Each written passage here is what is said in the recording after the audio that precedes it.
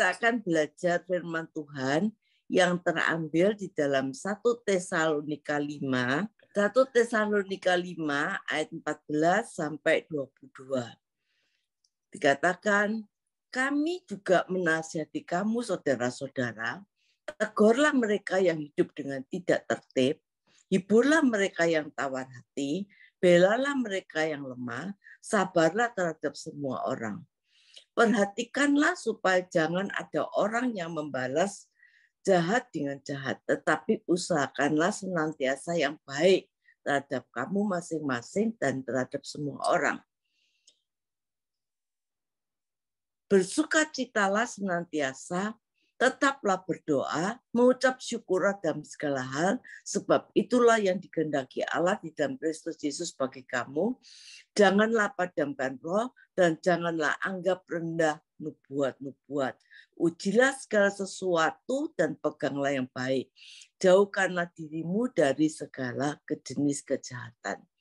Saudara, kalau kita baca firman Tuhan ini, maka kita akan membagi menjadi dua bagian yang besar, yaitu ayat 14 dan 15 itu satu paket. Dikatakan kita harus eh, bisa menasihati, menegur, menghibur, membela dengan penuh sabar kepada orang lain.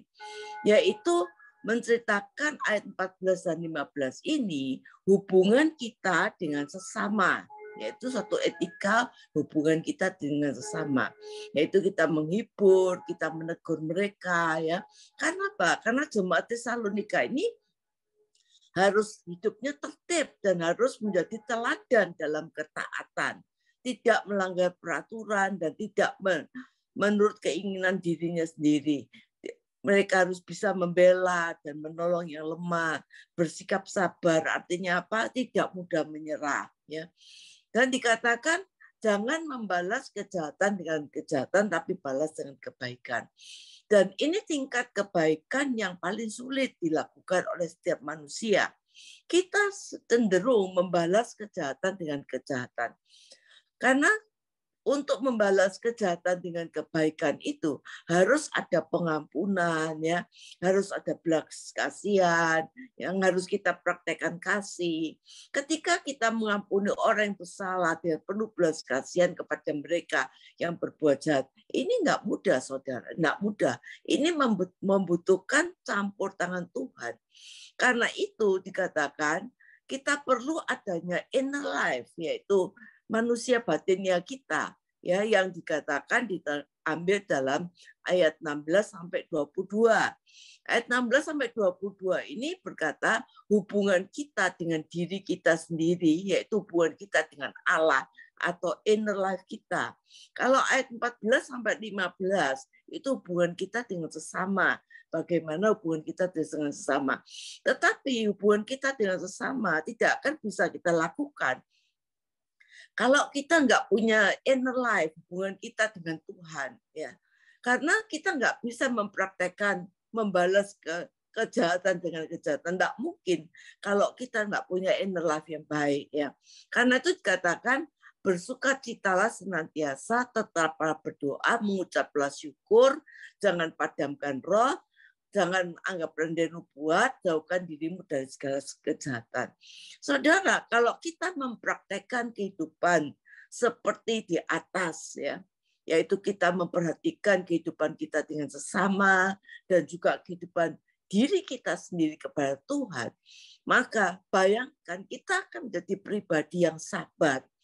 Kalau kita menjadi pribadi yang sabar, sudah pasti kita tidak ada konflik yang kita alami di dalam kehidupan kita sehari-hari. Apalagi kita tidak akan membalas kejahatan dengan kejahatan, tetapi membalas dengan kebaikan. Saudara, ini satu hal memang yang nggak mudah ya, nggak ya mudah diucapkan tapi nggak mudah untuk dilakukan. Dan ini tidak hanya pada orang percaya, tapi semua orang ya betul-betul indah. Dan juga kalau kita bisa melakukan semua ini ini semua menjadi uh, sesuatu yang indah di mata Tuhan. Kita sungguh-sungguh bisa menikmati surga di bumi. Inilah yang disebut gaya hidup ilahi yang seharusnya dihidupi oleh setiap orang percaya. Sebagai identitas kita sebagai orang percaya yaitu kita senantiasa bersuka citalah senantiasa. Kalau kita pikir apa yang mendasari kita bisa bersuka cita? Apa yang membedakan sukacita yang kita miliki sebagai orang percaya dengan sukacita yang ada di dalam hidup kebanyakan orang? Kita ambil dalam Roma 14 ayat 17. Sebab kerajaan Allah bukanlah soal makanan dan minuman, tetapi kebenaran, damai sejahtera, dan sukacita oleh roh kudus. Saudara ingat bahwa sukacita kita itu bersumber dari pribadi roh kudus. Jadi alasan kita untuk bersukacita adalah bahwa realita keadaan keberadaan Roh Kudus yang selalu bersama kita. Kalau Roh Kudus selalu bersama kita, Dia akan memberikan sukacita kepada kita. Dan sukacita yang Tuhan berikan kepada kita, itu saudara akan membentuk pribadi kita. Kalau hidup kita penuh dengan sukacita, maka dikatakan bahwa sukacita itu membawa kesembuhan. Sukacita itu membawa Eh, satu dampak yang luar biasa dalam kehidupan kita. Jadi alasan kita bersuka cita yaitu ada pribadi Roh Kudus yang senantiasa bersama kita. Saat kesadaran kita bahwa kehadiran Tuhan itu terbangun di dalam diri kita, Roh Kudus ada di dalam diri kita, maka bisa dipastikan suasana hati kita akan menjadi penuh dengan sukacita karena Tuhan beserta kita. Saudara, bagaimana cara Roh Kudus bekerja untuk memberi sukacita, yaitu Dia memberikan firman. Saat kita menerima firman menjadi dasar keyakinan, sikap hati, gaya hidup tercetak dalam pikiran, maka sukacita pun menjadi bagian kita yang sangat limpah. Bahkan sifat-sifat ilahi yang permanen itu menjadi milik kita. Saudara, kalau sifat-sifat ilahi itu ada pada kita.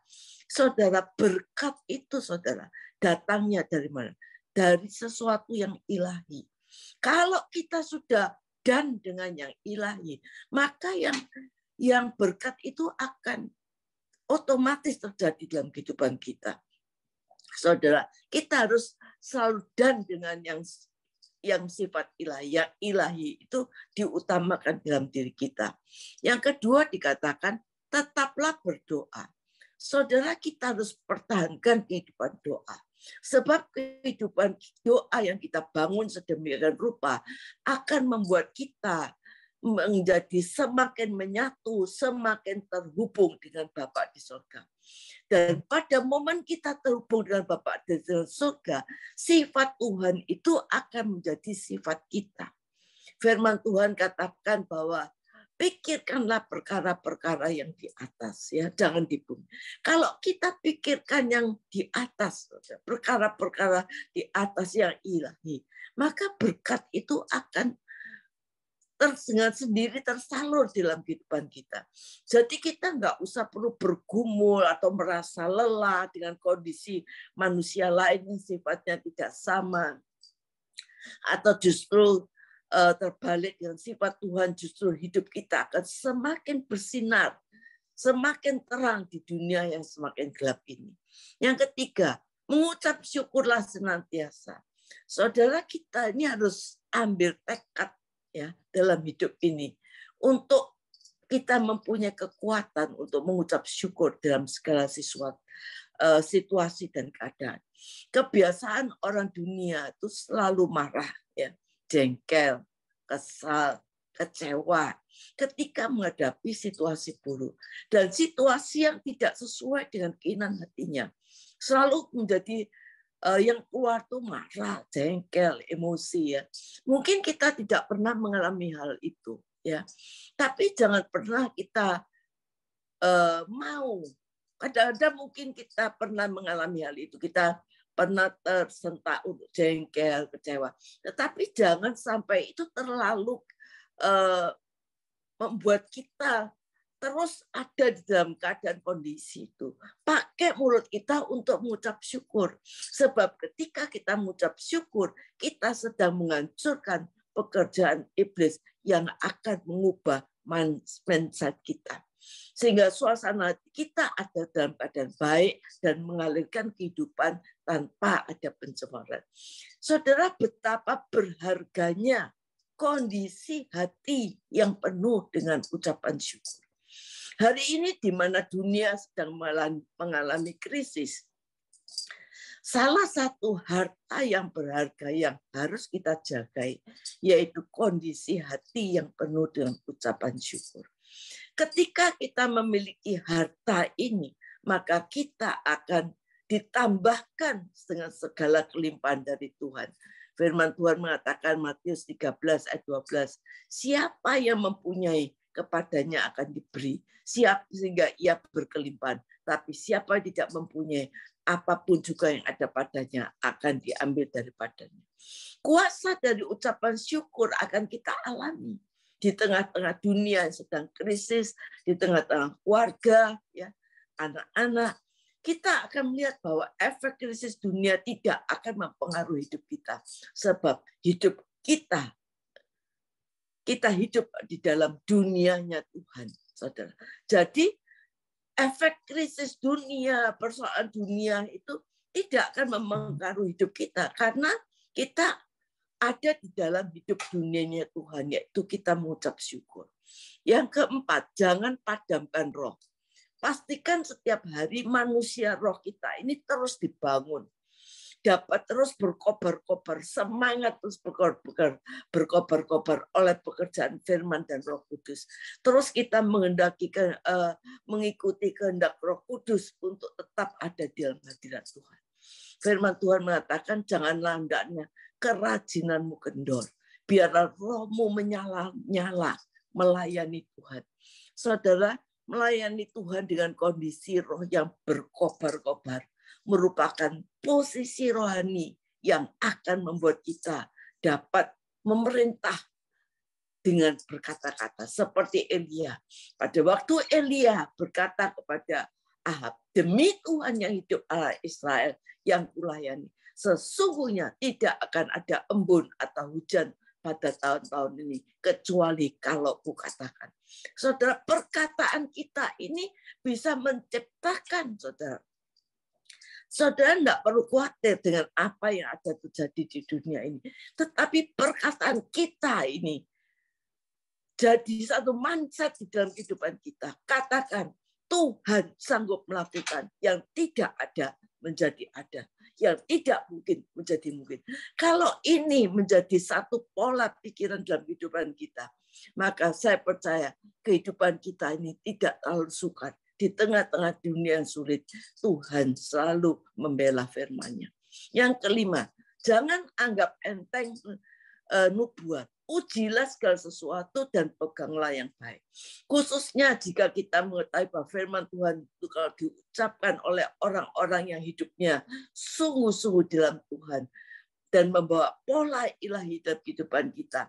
Ikuti apa yang Tuhan sampaikan dengan sukacita, maka kita akan melihat penyertaan, pemeliharaan Tuhan secara sempurna di dalam kehidupan kita. Saudara kita lihat firman Tuhan di dalam kejadian 723 dikatakan bahwa demikianlah dihapuskan Allah segala yang ada, segala yang di muka bumi, baik manusia, hewan, binatang, melata, burung-burung udara, sehingga semuanya itu dihapuskan di atas bumi. Hanya Nuh yang tinggal hidup dan semua yang bersama-sama dengan dia ada dalam bahtera itu. Saudara, kita lihat Perhatikan kalimatnya bahwa Nuh tinggal hidup dan semua bersama dengan dia di dalam bahtera itu. Karena apa? Karena Nuh hidup dalam pola rohaninya Tuhan. Hidup di dalam standarnya Tuhan. Hidup di dalam dunianya Tuhan. Hidup dalam keterhubungan dengan Tuhan.